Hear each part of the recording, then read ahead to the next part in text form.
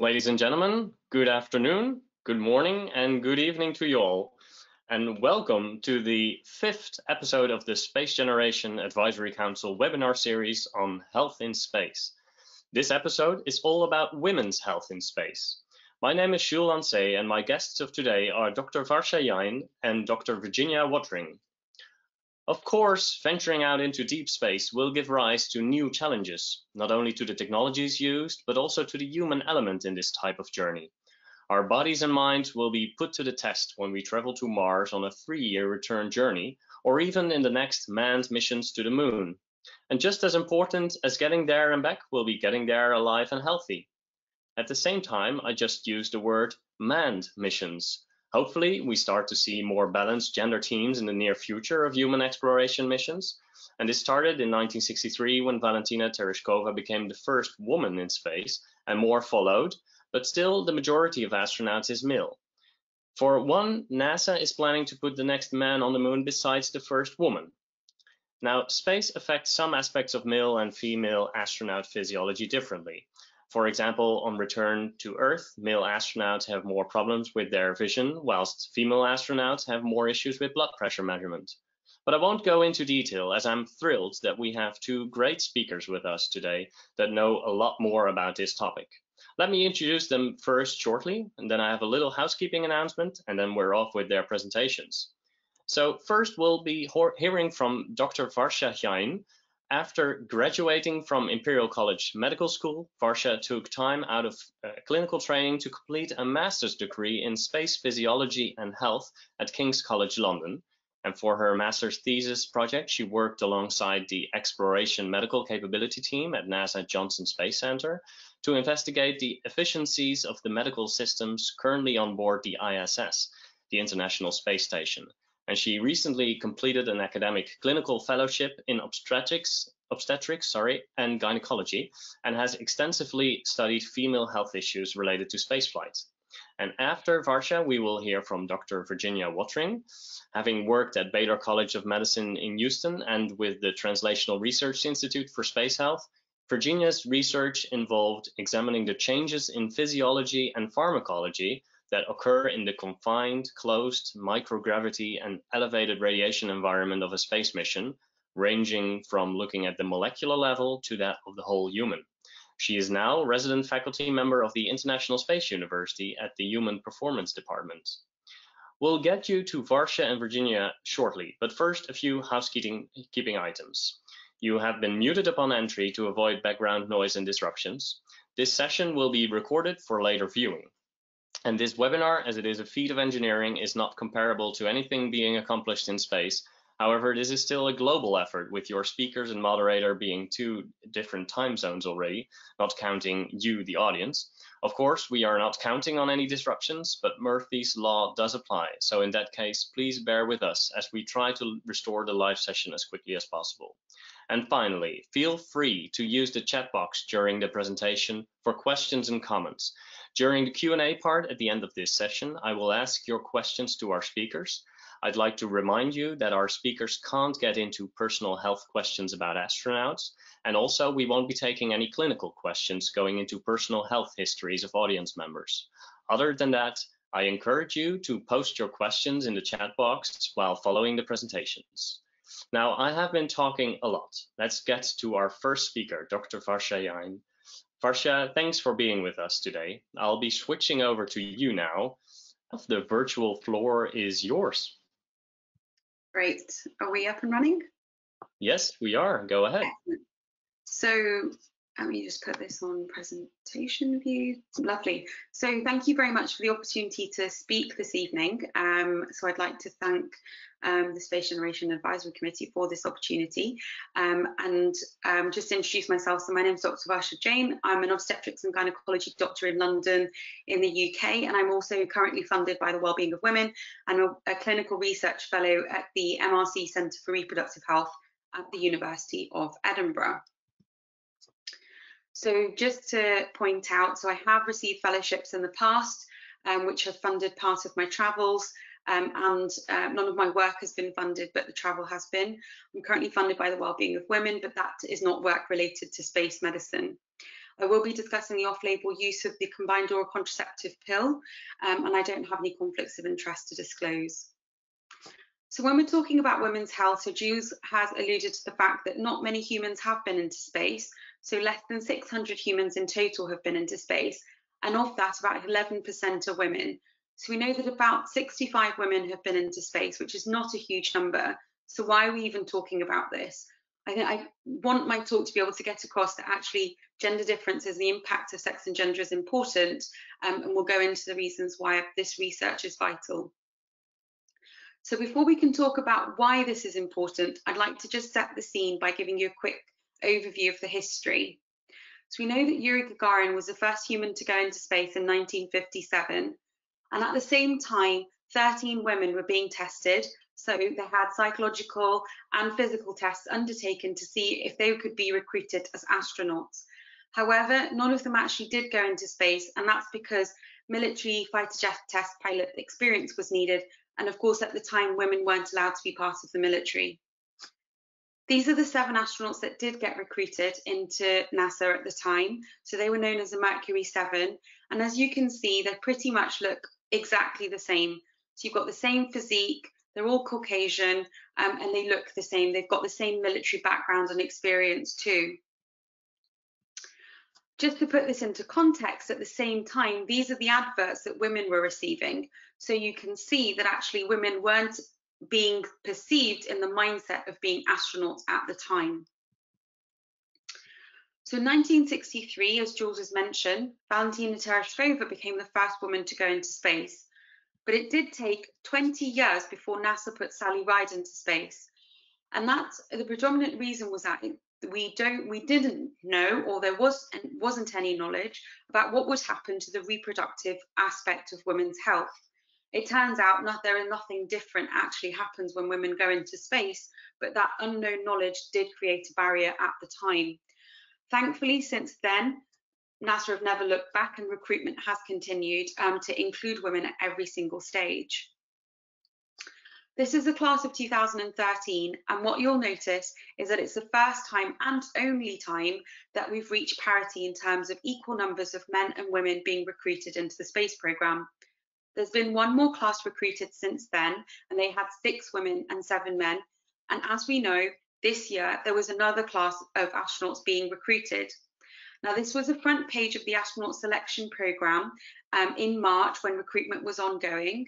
And as you can see from the banner at the top, it was all of the active female astronauts that were in the pro that were sort of being advertised. I think what's important to note here is that people always ask me the question, um, well, why are there so few women being recruited? And the simple answer is, well, if there are not enough women applying for the job, how can they be recruited? So the numbers of women going into space purely is a reflection of the number of women applying.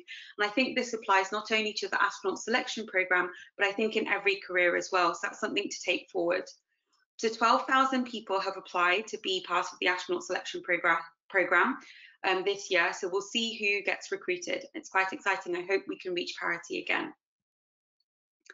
So when we talk about the health um, aspects of women going into space, I just want to set a general scene. So we know that the general physiological changes and adaptations that occur pretty much affect every single aspect of the human health system. Um, so immediately the neurovestibular system is affected. So astronauts encounter space motion sickness and they have to understand which way is up, which way is down. Within two weeks to about a month, the cardiovascular system and hematological system changes. So the body reaches a new state of being normal in the sense that it reduces the um, amount of fluid volume within the um, body, um, red cell mass changes as well, so that overall it can cope with this new environment. We know that bone and muscle deteriorate over a much longer period whilst in space, and they keep on deteriorating actually we do have countermeasures in order to reduce that reduction, but again, that deterioration does still continue despite this. On return back to Earth, pretty much every single system within the body needs to recover. But we're here to talk about women's health, so let's go into more detail about the gender-based differences. So thankfully, um, in 2014, there was a huge um, effort um, to produce this series of six journal articles which looked at the impact of sex and gender in, um, on the adaptation to space. These are widely available and I do suggest if you're interested in the topic to please look them up and have a read. Overall, the findings are summarised within this infographic. Generally, men and women adapt to space in, exact, in pretty much the same way, but there are subtle differences and I want to go through these now with you.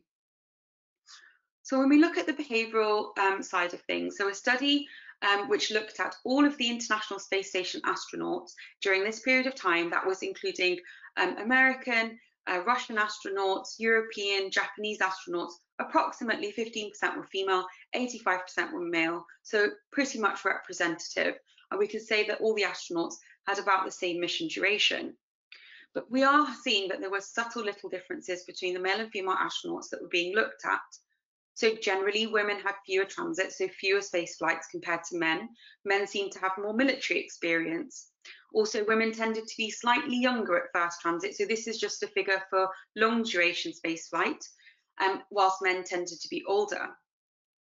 When we look at the psychomotor aspects, there were no differences actually in the male and female astronauts in how they performed, and also sleep, which is so important as well, did not differ between male and female astronauts. Then we want to look at mental health.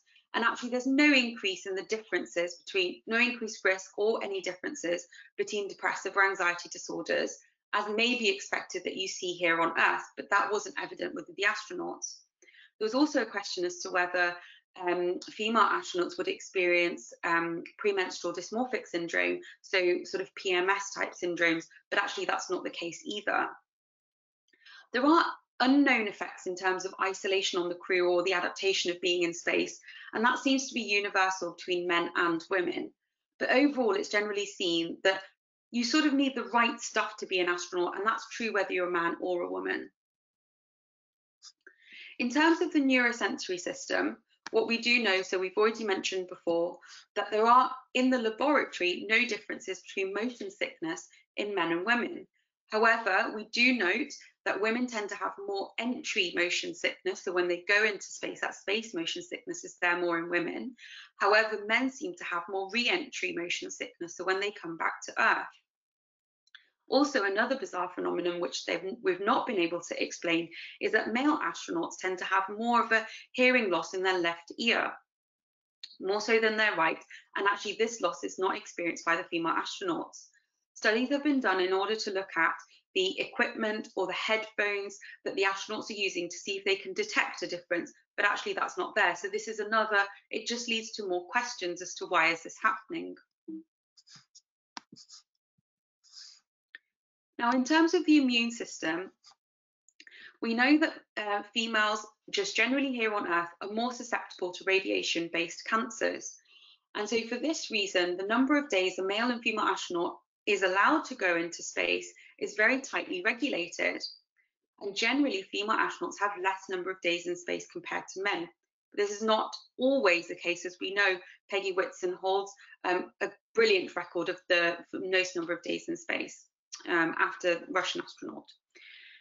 But what we do know in terms of um, female response to viruses or bacteria is that women tend to mount a much greater immune response this also puts women at risk of more um, autoimmune conditions here on Earth.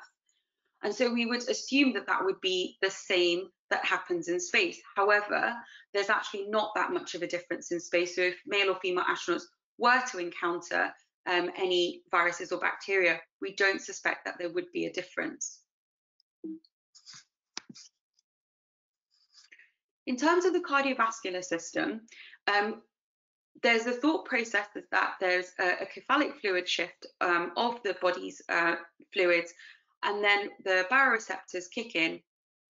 And whilst uh, the astronaut is reached has gone into space, the astronaut reaches a euvolemic state, so a reduced amount of plasma volume within the body.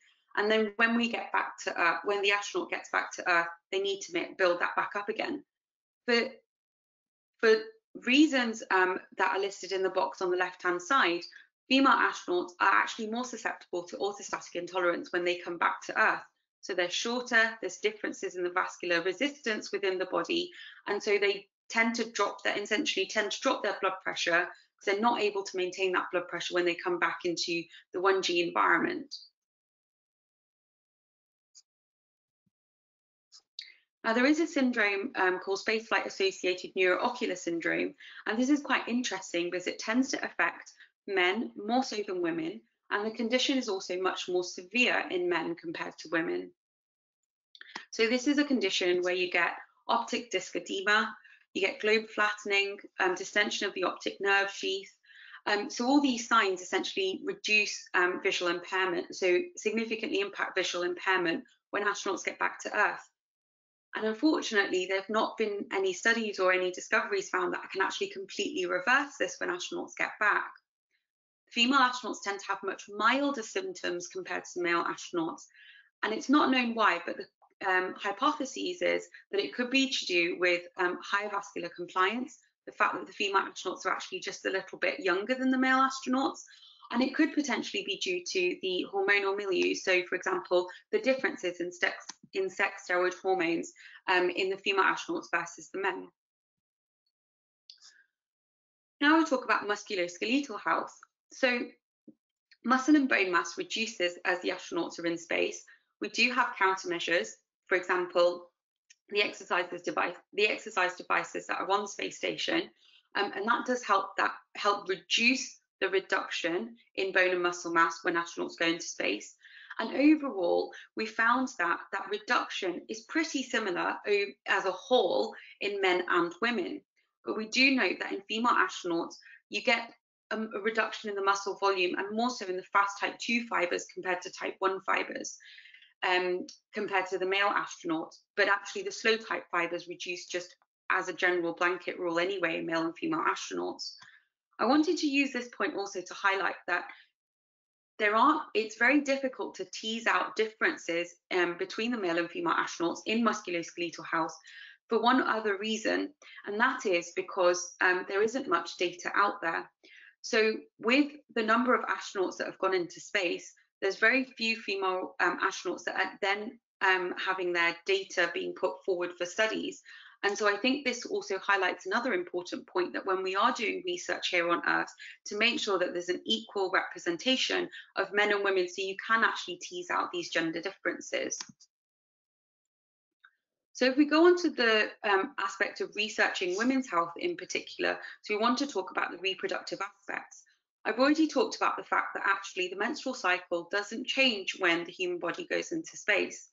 But when we talk about the menstrual cycle, I like to give a little overview because it can sometimes be quite a while since people have sort of really looked into this. So there's two stages of the, of the normal menstrual cycle, the proliferative stage, which is the first half, and the secretory stage, which is the second half.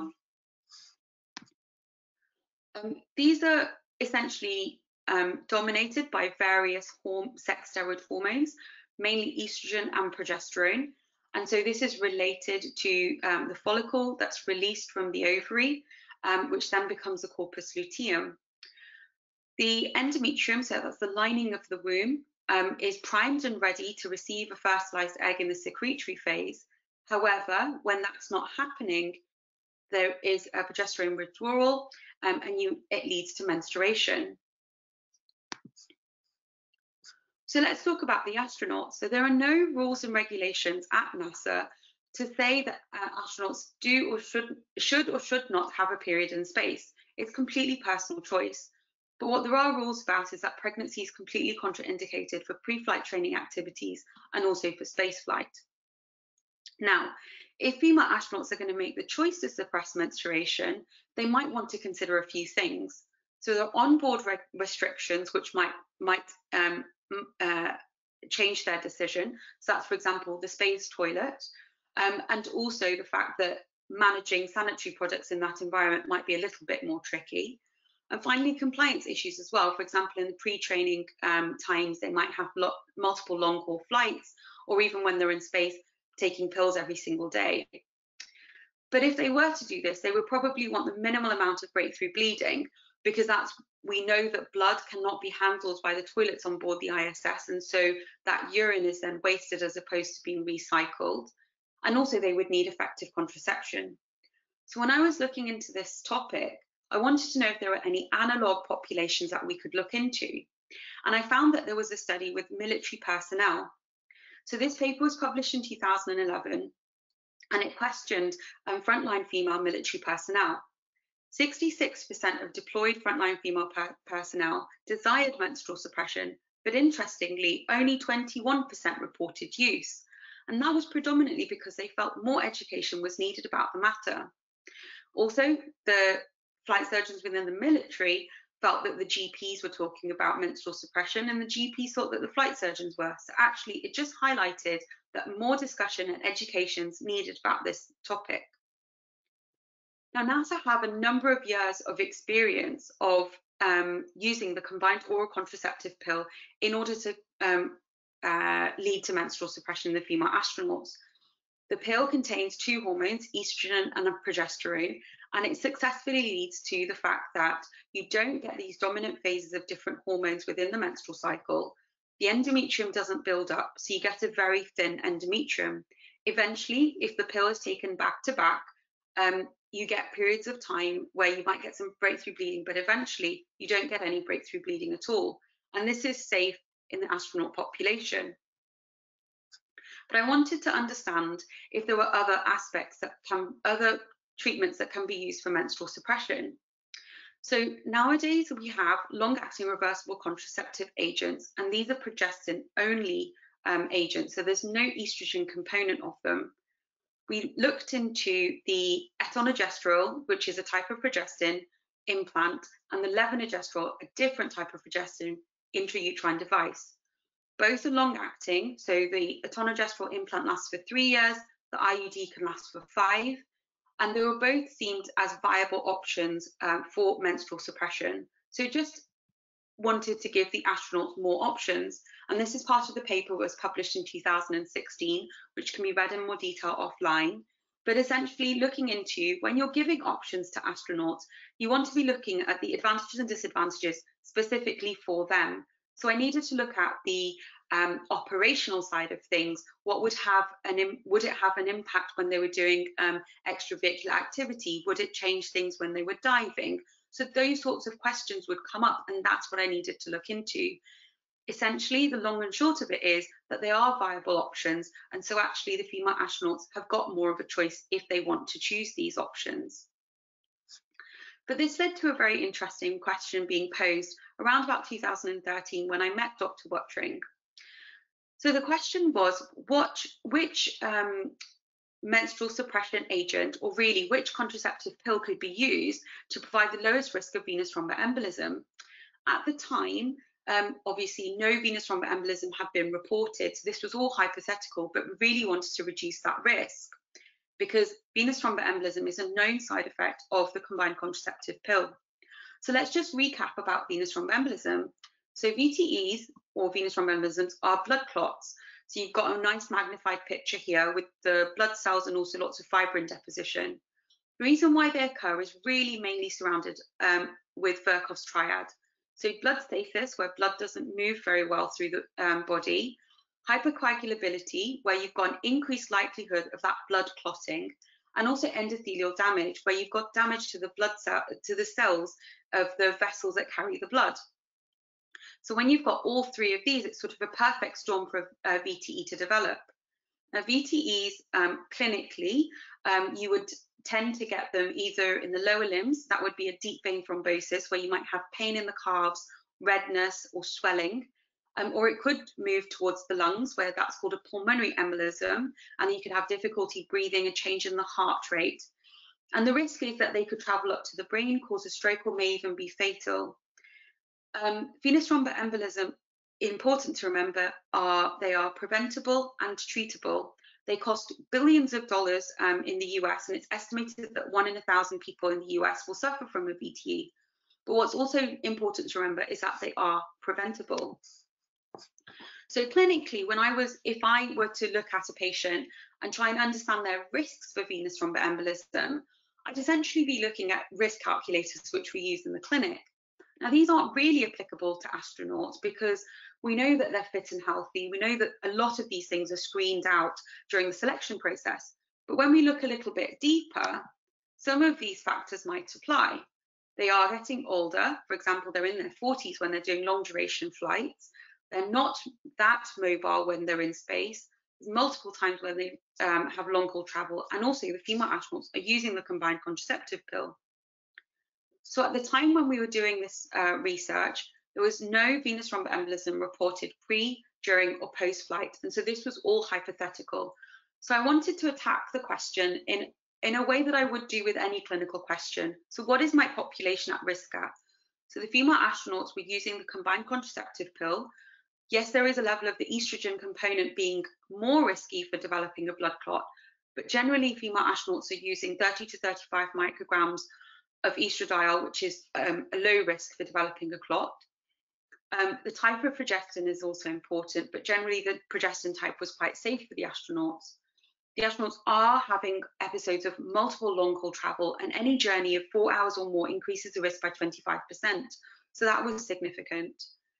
Now we know that the average age of an ASCAN finalist, so an astronaut candidate finalist, is 32 years, and the average age of first flight for a female astronaut, this is um, including short duration flights, the data we have is 38 years. Um, so, and every decade of life, there's an increased risk by two to six fold of venous thromboembolism. So that also increases when um, astronauts doing long duration flight in their 40s. Astronauts are generally not immobile, they're quite active people. However, there are points and times in their, in their training where they might be inactive. This could come into play, for example, during Soyuz training, um, where they've got to have multiple hours within the bucket seats, and they could um, that could lead to points within their blood system where damage might occur or they might get um, points of stagnation of blood and therefore blood clots might develop. Um, and there might also be times when astronauts are in space, they're really only exercising for one hour a day. And so again, it's relative immobility compared to normal. And astronauts being active also have very um, activity-based hobbies. And so there is a risk of muscle injury. So we know from um, a ligament tear, the odds ratio of a blood clot to increase uh, to develop is actually 10 times higher than normal. So that's also a potential risk. And finally, it comes up the question about decompression sickness. So astronauts don't tend to get decompression sickness. Female astronauts don't tend to get decompression sickness more than male astronauts. Um, and generally that's the case in the general population as well. However, there is the uh, potential that when the astronauts are doing um, diving episodes in the neutral buoyancy lab, for example, microbubbles might form within the blood system. Now, microbubbles tend to be very prothrombotic, so they've got a very sticky surface. So again, these might be a focus for where blood clots can develop. Now, in terms of what happened during our study, I'll let Dr. Wotring um, go over the research aspects, but I wanted to provide that clinical side of things. So now what we do know is that there has been an episode of venous thromboembolism that was reported earlier this year. Um, but again, Dr. Wotring will go over that in much more detail. So I'm going to end my talk here. I just wanted to say thank you to all of the organisations that have been, been involved and are involved in my work. Um, and also mainly thanks to um, NASA's LSAH programme, who have provided all of the data for the research that Dr. Wotring and I have done. Thank you so much, Varsha. I'm going to pull up my slides now. Let's talk about the research side of things.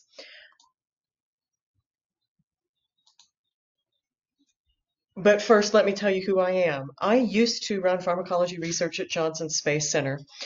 And while I was there, I had experiences working with the uh, clinicians who take care of the astronauts every day before they go on their flights, while they're training, and uh, while they're on their missions. So I learned a lot about the needs of the astronauts and the physiological stressors on the astronauts. And I also learned a lot about the kinds of research that gets conducted on astronauts. And this is one example. This paper was published in uh, November of last year by my friend Karina Marshall Goebel at Johnson Space Center. This group is based at JSC and they were studying that SANS phenomenon that Varsha mentioned. Uh, we think it's fluid uh, shifting to the head. Uh, it manifests as changes in vision.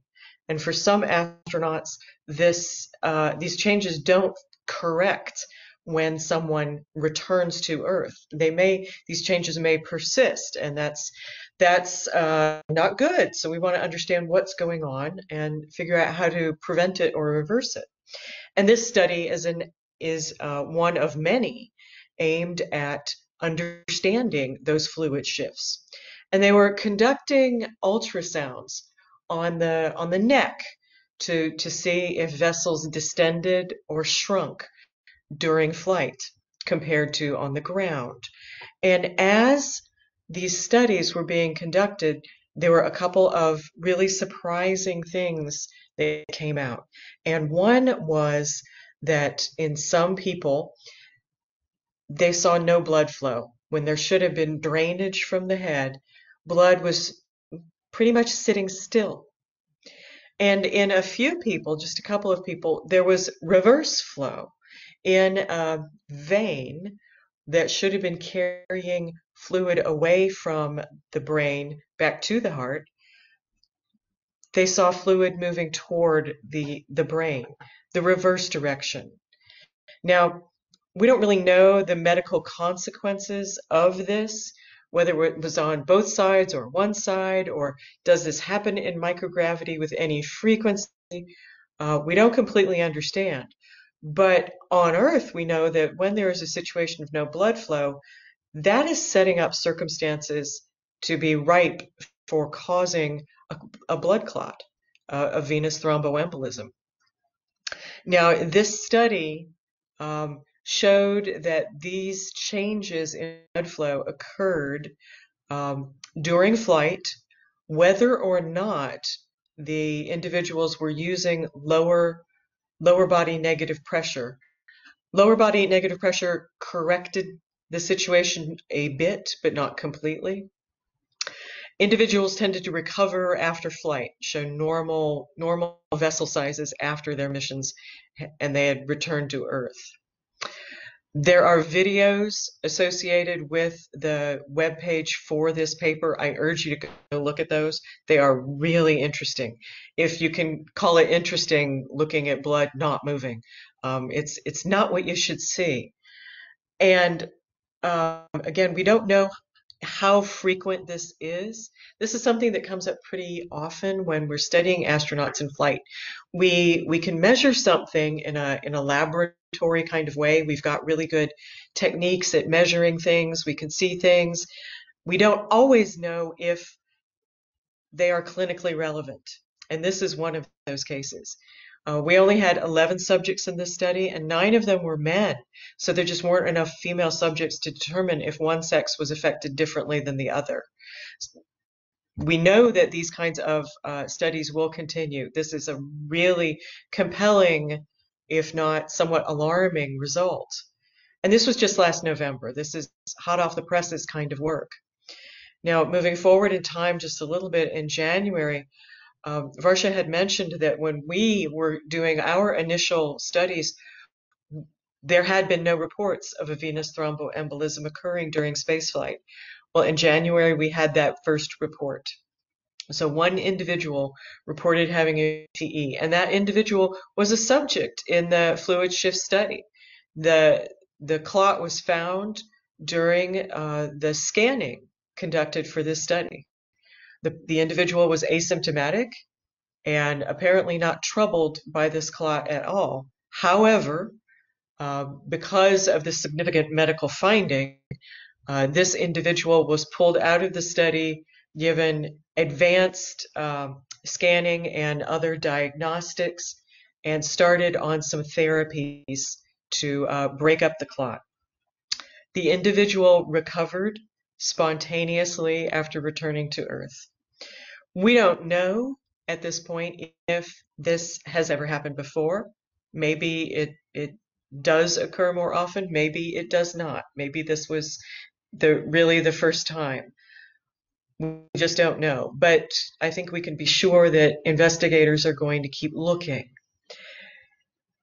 And part of why they're going to keep looking is because this is such a significant cardiovascular issue. A lot of lay people don't um, recognize that VTEs are the third most common cardiovascular issue, right behind heart attacks and stroke. Um, and they are potentially deadly, and they cost uh, the economy a tremendous amount of money. This 15.5 billion per year in the United States, that is almost as much as the NASA budget every year. Um, it's a it's a significant amount of money. And because these are significant and we've known about them for some time, we know a lot about the risk factors associated with VTE. And we know that use of combined oral contraceptives doubles the risk. Now, Varsha mentioned when we first started working together, uh, we met at an AsMA meeting, Aerospace Medicine Association annual meeting. She tracked me down and told me she was interested in doing some women's health studies. This is when I was at JSC. And it turns out that I had um, I had heard from a flight surgeon who had asked me um, some months earlier a question that I thought was really bizarre. Uh, he called me and he asked, uh, "What what oral contraceptive pill should I put an astronaut on if I want to make sure to minimize the risk of VTE?" And I thought that was a, a kind of a ridiculous question. You know, if you have a patient with any significant risk of VTE, you don't put them on a combined oral contraceptive pill. You find some other birth control mechanism for them. Uh, that question almost didn't compute for me. But once I had an expert, a clinical expert like Varsha, who was willing to work on this question with me, we then had the expertise between the two of us to attack this question. Uh, what would be the best uh, strategy for FEMA astronauts to use? Yes, menstrual suppression is considered desirable by a lot of the astronauts, but it's their choice. And they can choose to use a combined oral contraceptive pill back to back. They can choose to use an implant in the arm or an IUD, or they can choose to have ordinary uh, menstrual cycles and have their periods in space. Varsha mentioned that education is an important point, and I, I, couldn't agree more. When we first started discussing these questions, some of the female astronauts approached Varsha and, and wanted her input on on what they should do and how they should do it and and asked for extra education. And I think there are probably a lot of women even on Earth who want to know more about this. So as Varsha mentioned, we evaluated the various known risk factors for VTE and focused on a few that were more important for the astronaut corps than others. Uh, we could easily rule out quite a few of these things, but not age or uh, periods of Im immobility uh, often associated with long haul travel. The astronauts during training are often on an international flight one week per month they go somewhere. They go to uh, Japan to train with JAXA. They go to Russia to train. Uh, they go to Canada to train on the robotics. They go back to Johnson Space Center. About one week a month they spend um, on long haul travel. Some of the uh, risk factors were things that we could investigate if we had a little bit of data from uh, various blood tests and even uh, nutritional measurements. And as we were coming up with the first paper we put out in 2016, we realized that NASA might already have some data, uh, not exactly what we wanted, but close to it. So we started asking them. We started asking NASA, what data do you have on female astronauts that you could share with us that would help us evaluate the actual risk um, the actual risk of the female astronauts in flight. And we put together a relatively unique kind of a study. We worked very closely with a couple of in-house um, NASA biostatisticians, that's uh, Ploutz Snyder and Young, and with a woman from the uh, Longitudinal health group at Johnson Space Center. These are the folks who are in charge of all the medical data. We uh, eventually got hold of data from 38 female astronaut flights. So that's that's about half of all the women who've ever flown to space. Uh, we were granted data from, and that's analyzed in the paper that we published uh, just last month. Now, some of the measures that we got were from routine blood tests. Tests that were conducted um, on a calendar basis to check on, on astronaut health. So the N numbers for most of these were relatively high. And uh, others were taken from research studies looking at nutrition and those numbers are significantly lower because not all astronauts had signed up for these nutritional research studies. So this first figure I'm showing you has B12 and iron and transferrin, TIBC, uh, ferritin, and folate. These are from mostly the nutrition studies.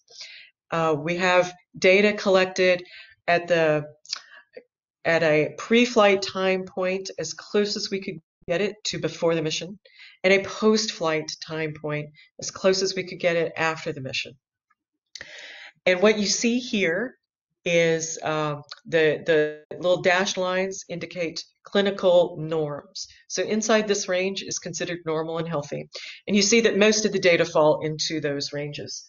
There are just a couple of points that are outside the ranges. And in general, you don't see a significant trend. It's it's as if the stressor of spaceflight doesn't really change these measures much. Uh, because we had a relatively high end in some of these, we did detect statistical differences. Uh, B12 is down a little bit, transferrin, iron, and folate all down just a little bit. Uh, we don't think that they're down enough to be um, actually relevant in a clinical uh, sense. And we don't have enough individuals who were non users of combined oral contraceptives to make very many meaningful statements about differences between the COC users and the COC non-users.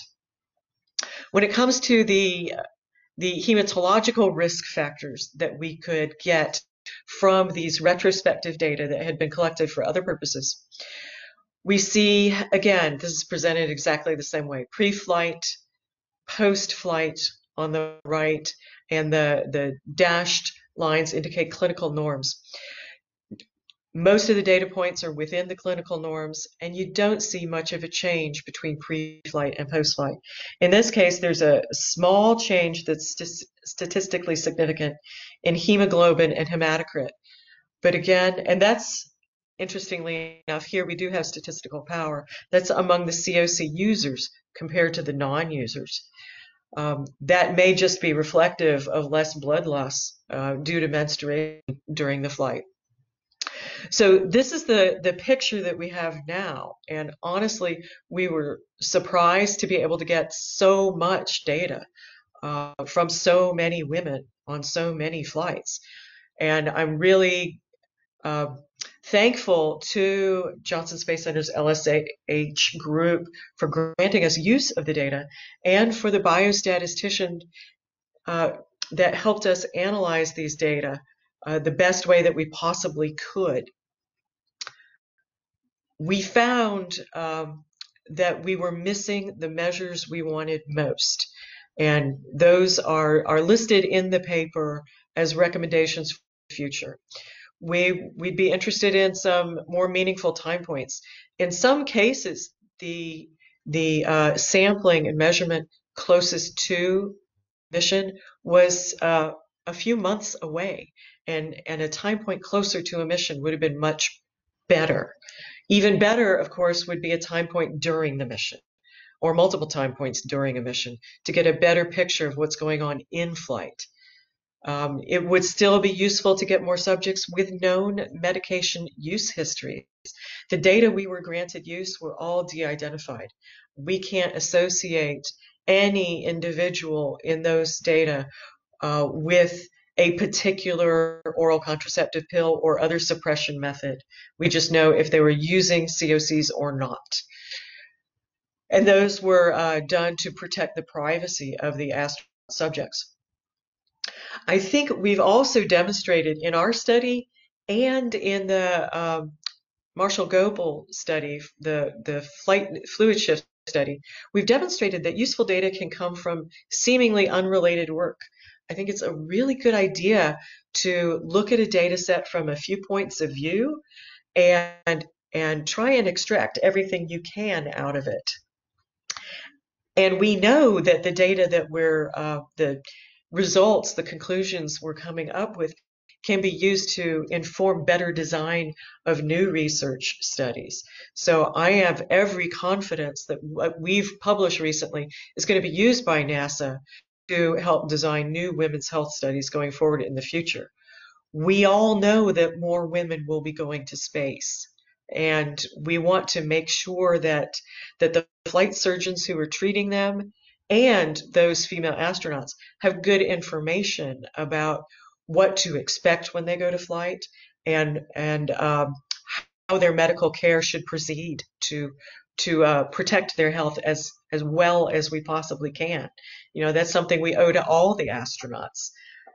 So, with that, uh, Jules, I think we'll wrap it up and shall we address some questions? We will, but first, uh, let me thank you and Varsha for this very comprehensive uh, talk.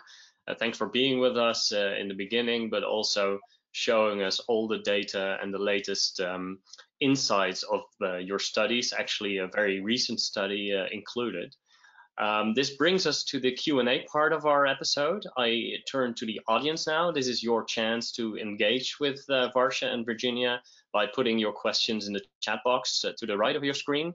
I'll try to moderate these. Um, a lot of you have already been posting questions.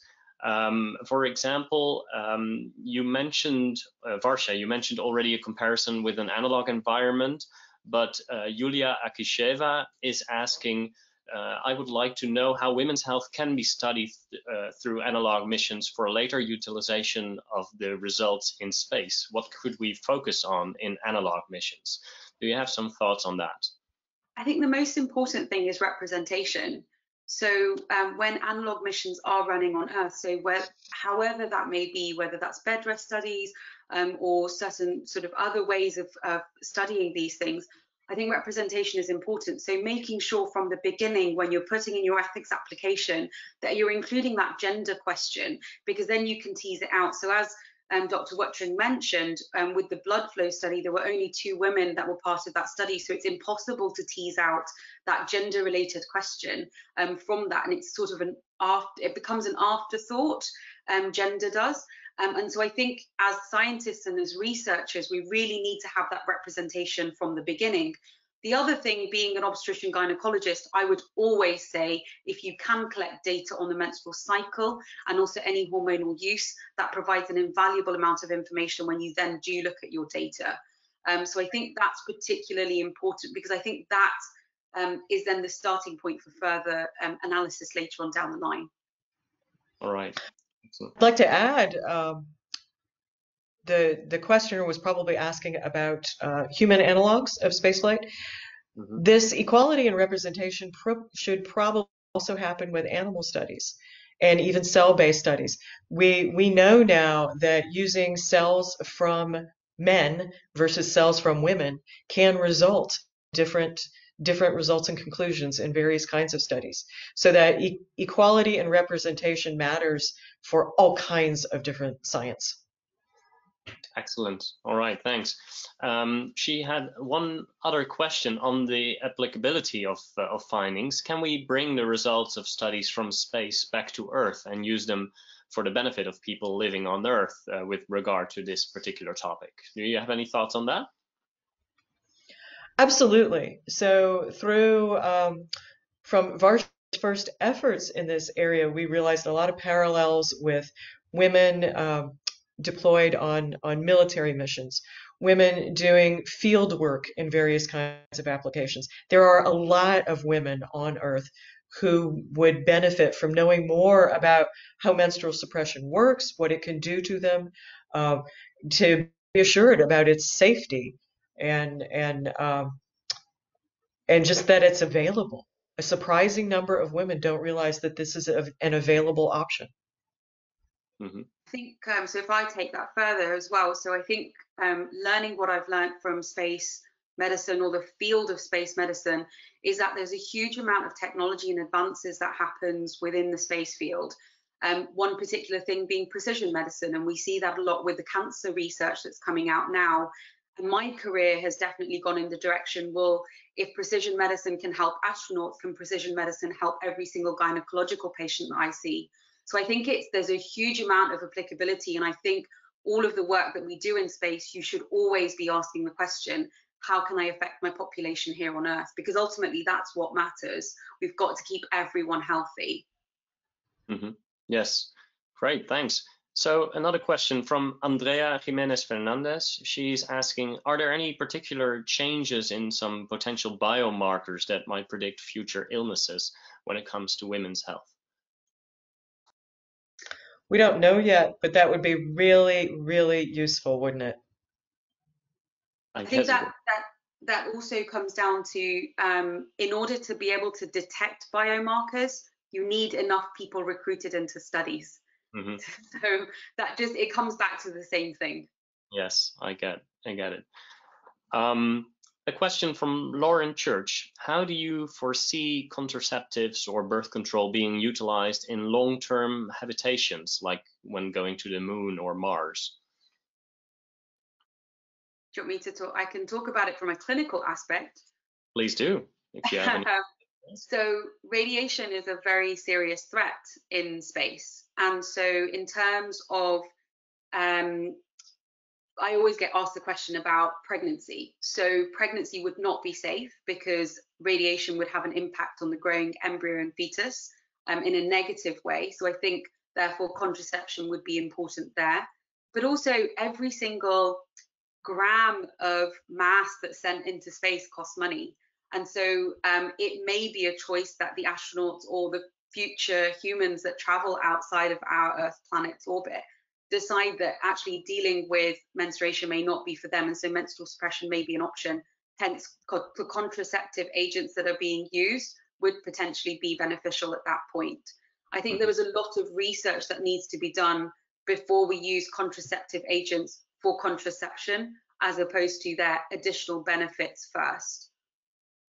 And there's another additional benefit, and it's one that we uh, recommend in our papers.